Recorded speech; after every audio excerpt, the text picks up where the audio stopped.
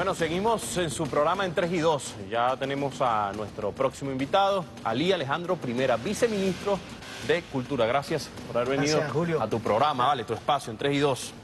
Gran amigo, compañero de trabajo. Que estamos, bueno, contentísimos de estar aquí una vez más en BTV y en esta, digamos, etapa, hermosa etapa, porque si hay algo que nos ha enseñado esta circunstancia en la que estamos atravesando, es que la creatividad se ha puesto de manifiesto, ¿no? Y el trabajo en equipo. En este momento estamos, ah, desde el día ayer que aperturamos los carnavales Caribe 2018, y bueno, todo ese operativo que se despliega por, por todo el país nos, nos ha dado la posibilidad cierta a los que hacemos cultura, a los que gerenciamos de alguna manera la política cultural en el Estado, en el gobierno bolivariano, tener una propuesta, una grilla bastante nutrida. Escuchábamos hace poco a, Javier, pues, desde ese ámbito de la música latina, de cómo esos carnavales caribe no, no- no solamente es de nombre, ¿no? sino cómo esa cultura de la cuenca del Caribe está presente y se ha hecho presente, por supuesto, en estos carnavales. ¿Cuáles son las actividades allí? Las actividades que se van a realizar en estos carnavales, en todo el país, me decían, en todos los estados. Fíjate, nosotros como, digamos, el Ministerio del Poder Popular para la Cultura, tenemos una propuesta condensada, por supuesto, en la región central del país. Sin embargo, acuérdate que el Ministerio de Cultura tiene un despliegue en, en los distintos gabinetes que tiene a nivel nacional. Los gabinetes también, cada uno de ellos tiene una programación que va desde eh, puesta en escena de teatro, teatro de calle, Música. circo, eh, actividades sobre todo para los niños, titiriteros, payasos, cuentacuentos, actividades circenses eh, y por supuesto la música que va desde eh, las propuestas salseras, pero también la propuesta de la música tradicional popular venezolana. Las agrupaciones de origen afro-venezolano van a estar presentes. A nosotros, por ejemplo, en el caso de Caracas nos ha tocado asumir siete espacios.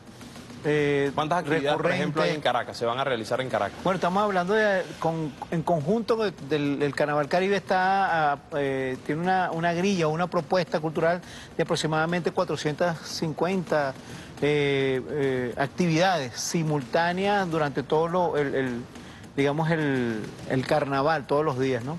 La- las carrozas van a estar presentes el día, si os quiere, el día, el día lunes de carnaval se hará el tradicional desfile de carroza.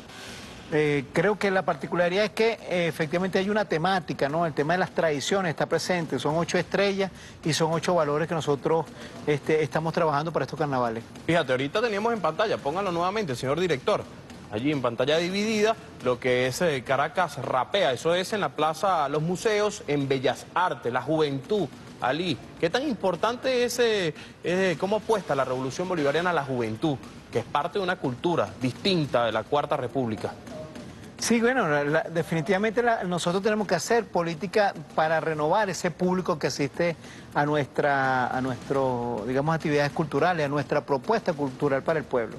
Por supuesto, el gobierno del presidente Nicolás Maduro se ha propuesto que estas actividades sean masivas, ¿no? De corte, digamos, eh, eh, donde mucha asistencia sea la, la oferta, ¿no? Por eso es que eh, acudimos a la calle, la calle es nuestra, ¿no?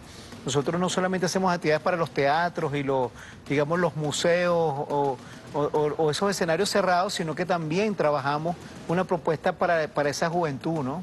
Eh, adicionalmente, no solamente está la propuesta cultural, está la propuesta deportiva, está la propuesta... Que forma parte de la recreación Forma total. parte de la recreación, por supuesto.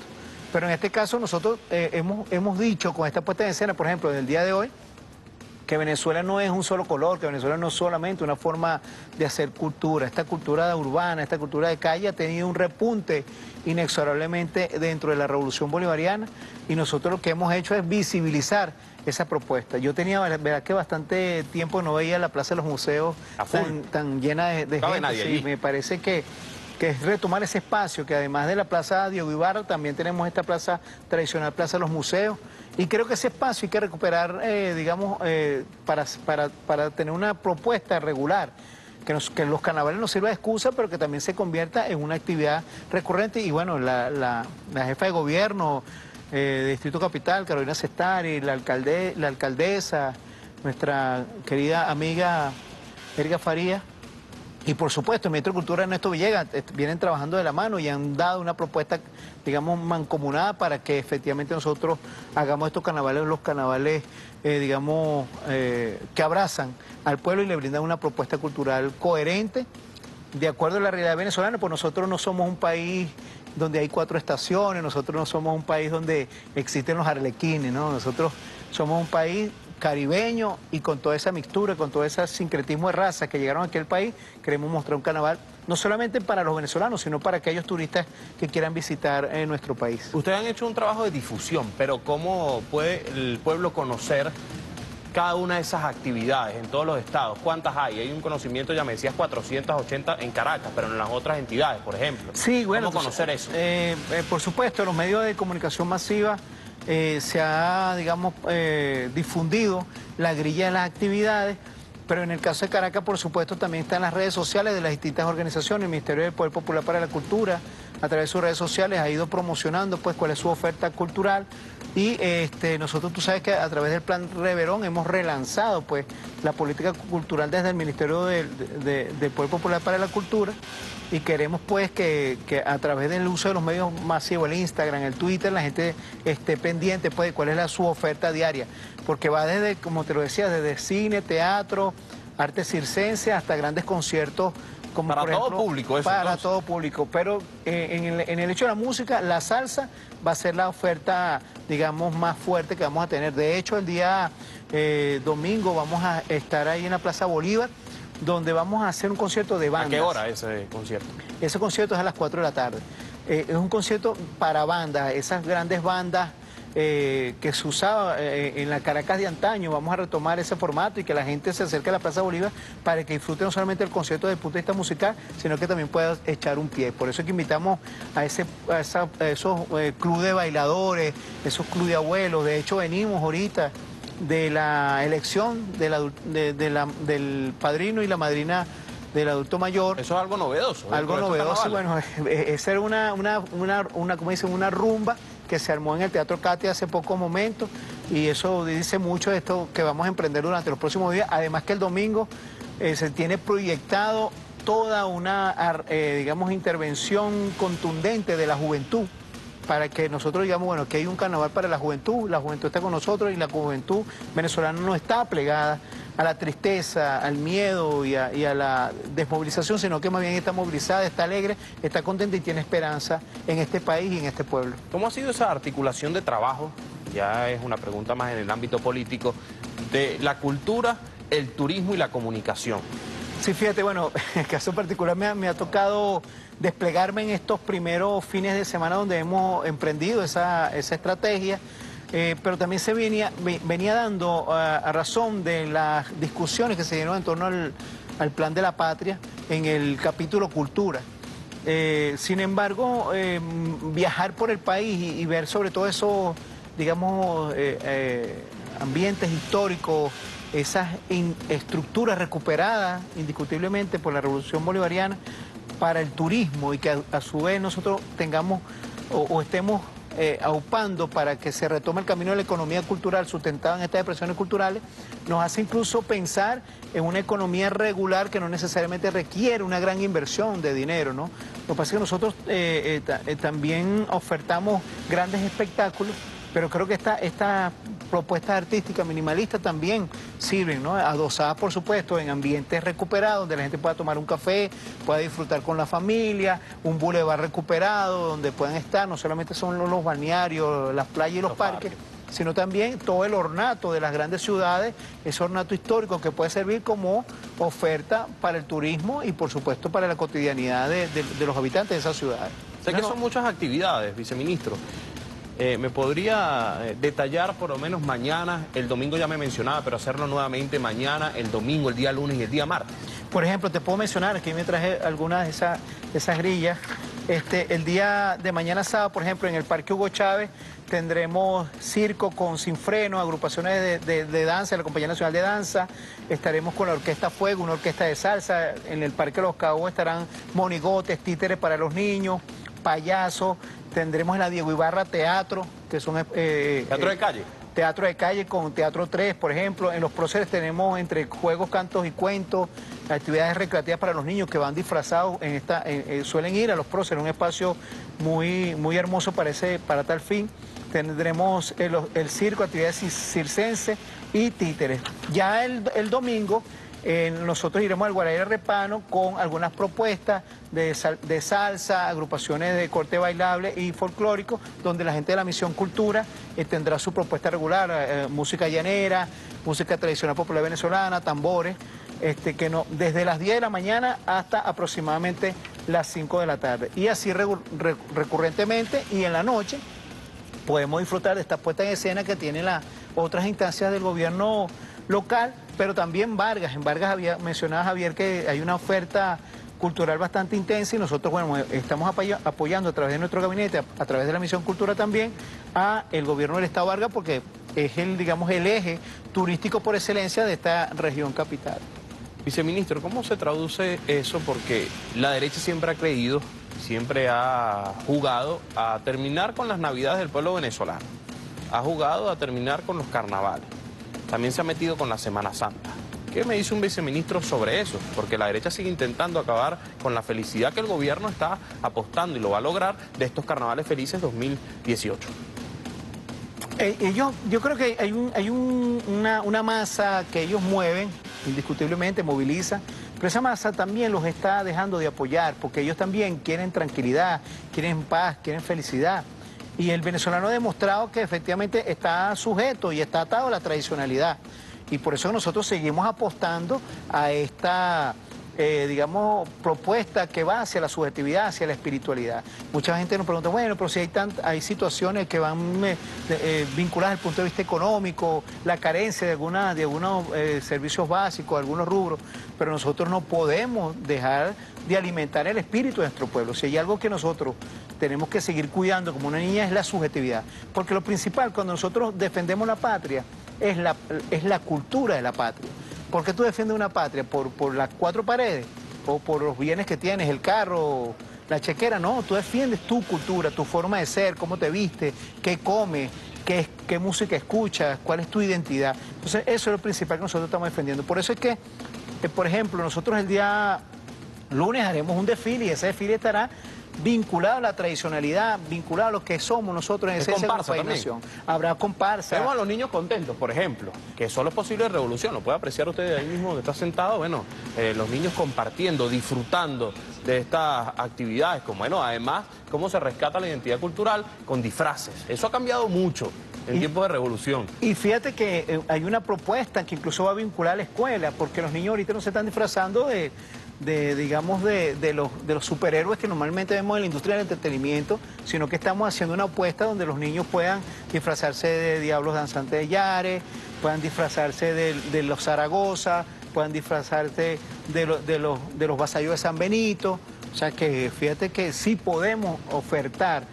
Yo pongo el ejemplo de Uruguay, por ejemplo, Uruguay tiene uno de los carnavales más famosos que tiene el Sudamérica y ellos hacen su candombe y lo único que hace es tocar los golpes del candombe. Y eso mueve todo el país, se plega a esos carnavales. Nosotros tenemos uno que lo reconoce la UNESCO.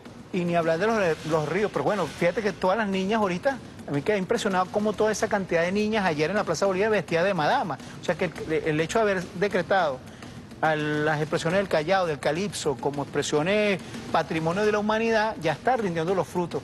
Ya vemos a esas niñas, esa cantidad de niñas vestidas como madama haciendo el calipso del Callao, que estará presente, si Dios quiere, en los próceres el, próximo sábado. Cuando hay actividades culturales y recreativas y carnavales, eh, ¿cómo es el tema de la seguridad? ¿Qué está haciendo el Ministerio de Cultura para eso y también del transporte?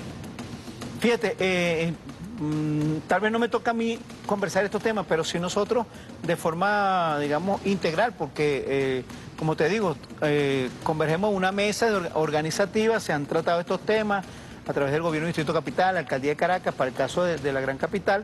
Eh, hay un dispositivo para el incremento de la oferta de, transporte, sobre todo para, ir a los parques, a los balnearios, desde Plaza Venezuela hay un transporte gratuito que sube para, para la estación del Guaraira Repano, también tenemos eh, oferta de transporte público para bajar al Estado Vargas y para ir a los próceres. El, incremento de las unidades de Metrobús se ha, puesto, digamos, a servicio de todo nuestro pueblo y, por supuesto, el, incremento sustancial que han tenido los efectivos policiales para resguardar y darle una, un, un espacio de felicidad y un espacio de tranquilidad a todos los que van a disfrutar de todas estas actividades.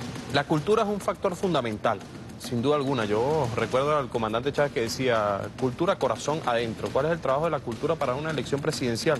Hablando más ya en el ámbito político. Bueno, nosotros por supuesto que eh, la cultura no es etérea, la cultura no es neutra, la cultura es militante. Y por supuesto eh, eh, el, el, el- músculo cultural que tiene el pueblo venezolano estará a servicio de la vida, del amor. Y al decir al, al- al servicio de la vida es que nosotros pregonamos la, la corriente ideológica que abraza el ser humano. No abraza los números, no abraza las monedas. Nosotros hablamos estos días, por ejemplo, de, de la nueva economía cultural sustentada en una propuesta valiosísima de, de la criptomoneda, por ejemplo, que ha lanzado el presidente de la República y nosotros hacíamos planteamiento de cómo a través de eso podemos relanzar la economía cultural. Es decir, hay un contingente, un ejército, es impresionante la cantidad de gente que se está activando en torno a la economía cultural y yo estoy seguro que esa gente se va a activar también para la defensa eh, y la creación del mensaje a través de las distintas artes, la puesta en escena de teatro, de música, de danza, van a estar al servicio, por supuesto, de la preservación de un gobierno legítimo y un gobierno contundentemente eh, amoroso de la vida, como es el gobierno del presidente Nicolás Maduro. Le preguntaba Javier por la octavita de carnaval. ¿Qué tiene previsto el Ministerio de la Cultura? Bueno, nosotros seguiremos en, en principio con nuestros viernes de cultura. Esta octavita coincide... Siempre si viernes de turismo y cultura. de turismo y cultura. Este, este viernes estaremos conmemorando eh, la, la siembra del cantor mayor Ali I. Habrá una marcha que saldrá desde eh, el Foro Libertador, al lado del Panteón Nacional, hasta la Plaza Ali I, que está al lado del Teatro Nacional. Luego nos iremos el día domingo a la tradicional marcha de los claveles y a nivel nacional se tiene todo un despliegue, digamos, cultural porque la canción militante, por supuesto, tiene que estar presente, pero ya hay una camada eh, de cantautores, militantes de esa canción que han venido abrazando la propuesta y se desplegarán en todo el territorio nacional. El gobierno bolivariano ha hecho un gran trabajo, pero hay una, hay una realidad que vive, lo que genera la ultraderecha, la guerra económica. ¿Cómo se entiende eso con esa realidad y cómo se comprende el entendimiento y la llamada que ha hecho el presidente Nicolás Maduro a disfrutar de estos carnavales felices 2018? Sí, el presidente Nicolás Maduro nos ha dicho algo fundamental. La vocería tiene que estar al lado de nuestro pueblo. Nuestro pueblo es el que tiene que estar hablando por estos días, diciendo sus verdades y por supuesto asumiendo el testigo en la organización. ¿Qué es lo que queremos nosotros desde la cultura? Que existan grupos estables, que la gente se despliegue, empiece a construir su propio paradigma cultural, desde, desde la tradicionalidad como hasta las propuestas urbanas como las que estábamos viendo en pantalla hace pocos momentos y que efectivamente nosotros salgamos un poco de la tradicionalidad y nos metamos, por supuesto, en las catacumbas, como lo decía Javier hace, hace unos minutos, y que nosotros empecemos a ofertar, digamos, propuestas de recuperación de la infraestructura. Mientras ellos más nos bloquean, nosotros vamos a las escuelas de música y estamos ahí con ellos tratando de recuperar la infraestructura, eh, pidiendo créditos adicionales para recuperar eso y que a su vez esa misma dinámica cultural se convierta en algo autosustentable y nosotros desde ahí empezar a avanzar para que la cultura en sí misma empiece a aportar al Producto Interno Bruto, ya que nos encontramos en una economía pospetrolera. La invitación a la gente a disfrutar, a disfrutar de estos carnavales. Bueno, no, indiscutiblemente, no se queden en su casa estos días, salgan a todos los espacios públicos, que estoy seguro que en los principales espacios públicos de la ciudad de Caracas van a encontrar una oferta cultural, sobre todo para la juventud y para los niños. Eh, si van a viajar al interior, en el estado Vargas, habrá una oferta contundente, si van al estado Carabobo, el día domingo habrá un, habrá un gran despliegue en ese hermoso estado. Si van a estar en, en- Sucre, vayan a los carnavales de Carúpano. Si van al estado Bolívar, los carnavales del Callao los esperan. El día domingo eh, será la tradicional misa de las madamas. Y el lunes y el martes habrá comparsa y desfiles por todas las, eh, digamos, aquellos estados que tradicionalmente hacen la oferta para el carnaval. Gracias, viceministro, por haber Muchas gracias. programa Muchas en gracias. 3 y 2. Muchas actividades, así que a disfrutar de estos carnavales. Nos vemos el día lunes en su programa en 3 y 2, que estará, me dice el equipo de producción, de 6 de la tarde a 7 de la noche. Feliz noche y mucha precaución si va a viajar en estos carnavales.